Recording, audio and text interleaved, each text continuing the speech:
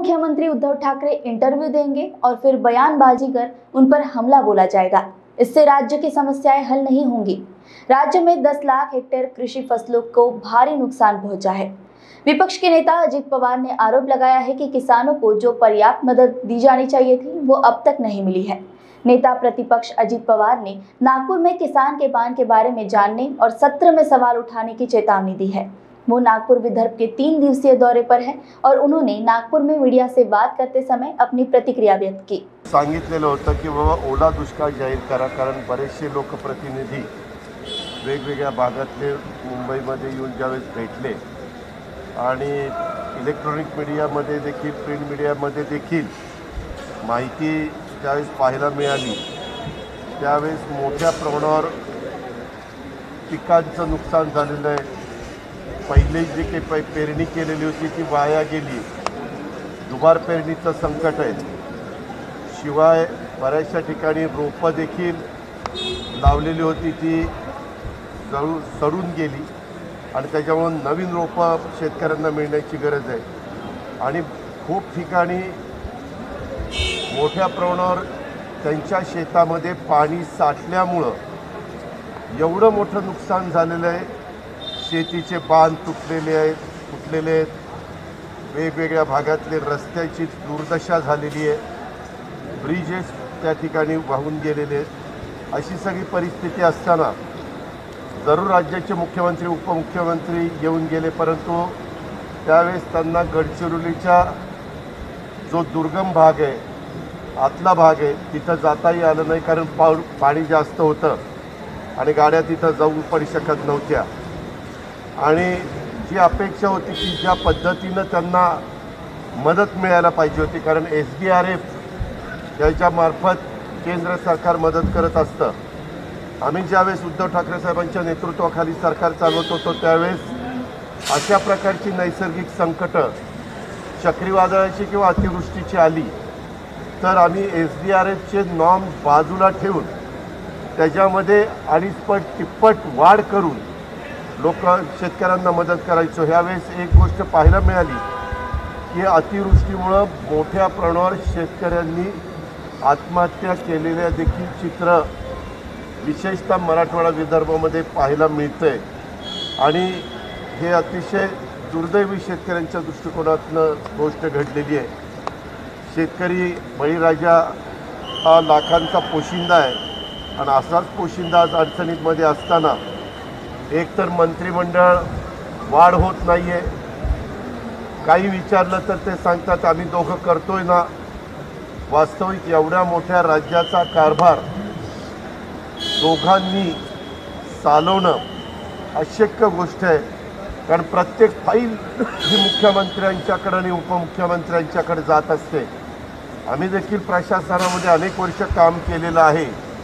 आणि त्याच्यामुळं वेगवेगळ्या डिपार्टमेंटच्या सगळ्याच फाईल फक्त ह्या दोघांच्याकडेच जर जायचं म्हटलं तर दिवसभर सह्या करायचं म्हटलं तरी ते शक्य नाही. मग फाईल मोठ्या प्रमाणावर थांबून राहतात आणि त्याच्यातून जो कारभार राज्याच्या जनतेच्या दृष्टिकोनातनं व्हायला पाहिजे त्यांचे प्रश्न सुटायला पाहिजेत ते प्रश्न सुटताना त्या ठिकाणी पाहायला मिळत नाही. आता त्यांना एवढं मोठं बहुमत मिळालेलं आहे हे त्यांनी सभागृहात दाखवलं आहे तर मग मंत्रिमंडळाचा विस्तार का करत नाही? आज कुठंही काही घडलं तर हे दोघांना जावं लागतं. त्याच्याऐवजी बाकीचे सहकारी बरोबर घेतले. तर आपले छत् छत्तीस जिल्हे आहेत. छत्तीस जिल्ह्यामध्ये छत्तीस लोकांना पालकमंत्री म्हणून पाठवता येतं. त्यांच्याकडनं आढावा घेता येतो.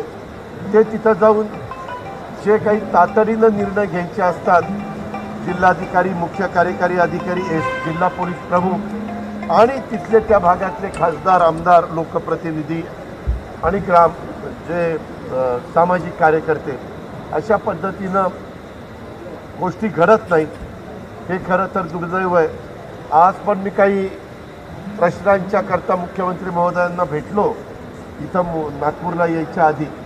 त्यावेळेस मी त्यांना विनंती केली की मुख्यमंत्री महोदय काय कारण आहे की मंत्रिमंडळाचा विस्तार होत नाही आहे ते म्हणले नाही आता आम्ही करणार आहोत.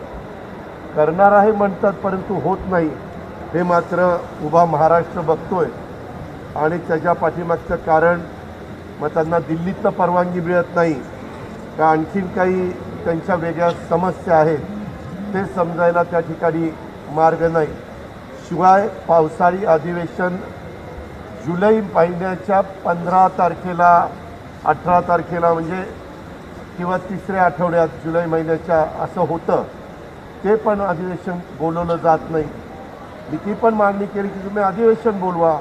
अधिवेशनामध्ये आम्हाला ज्या काही अडीअडचणी आहेत ते विधिमंडळात सांगता येते आणि वेगवेगळ्या आयुधाचा वापर करून तेव्हा मी लॉन्चमध्ये बसलो होतो. वे त्याच्यावेळेस तिथं पण आमच्या लक्षात आलं की हे अशा प्रकारचं चित्र आहे.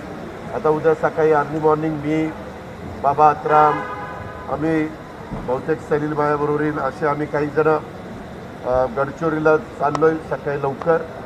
आणि मग नंतर गडचिरोलीला अर्धा दिवस देऊन चंद्रपूरला येणार आहे. आणि रात्री उशिरा पुन्हा नागपूरला परत येणार आहे. त्याच्यानंतर मग वर्धा यवतमाळच्या काही तालुके. आणि ते घेऊन मग मी नांदेड बीड आणि हिंगोली करून औरंगाबादला जाणार आहे. चार दिवसाचा गुरुवार शुक्रवार शनिवार रविवार अशा पद्धतीचा दौरा करायचं मी ठरवलेलं आहे. माझ्याबरोबर दिलीप वळसे पाटील पण येणार होते. पण लास्ट क्षणाला काही त्यांची अडचण आणि त्यांनी रद्द केलं. नांदेडपासून मात्र धनंजय मुंडे माझ्याबरोबर आहेत. अशा पद्धत आणि त्या त्या भागातले माझे राष्ट्रवादीचे कार्यकर्ते अध्यक्ष इतर सहकारी शेवटी त्याच्यातून आम्हाला काय नक्की वस्तुस्थिती फील्डवर आहे म्हणजे इतरांचं ऐकणं तेही महत्त्वाचंच असतं. परंतु प्रत्यक्ष जाऊन बांधावर जाऊन त्या शेतकऱ्याशी बोलून काय अडचण आहे ते समजून घेतली तर ते मुद्दे अधिक अधिकारवाणीनं सभागृहामध्ये विरोधी पक्षाच्या वतीनं मांडता येतील. शिवाय प्रशासनातले जे अधिकारी असतात त्यांनाही काही गोष्टी विचारून किंवा काय तुम्हाला अडचण आहे हे पण लक्षामध्ये घेतलं तर त्याही पद्धतीनं तेही मुद्दे मांडायला सोपं जातं. त्याकरता हा मी दौरा आखलेला